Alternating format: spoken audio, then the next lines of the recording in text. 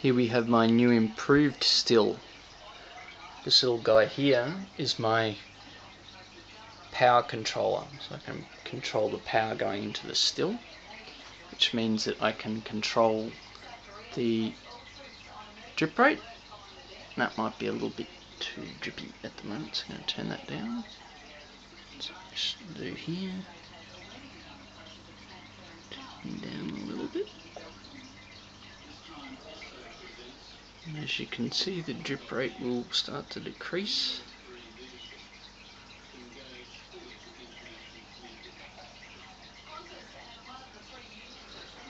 And we have our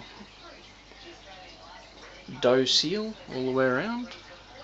We have our cooling arrangement. And we have our product product appearing in there. It's all very exciting.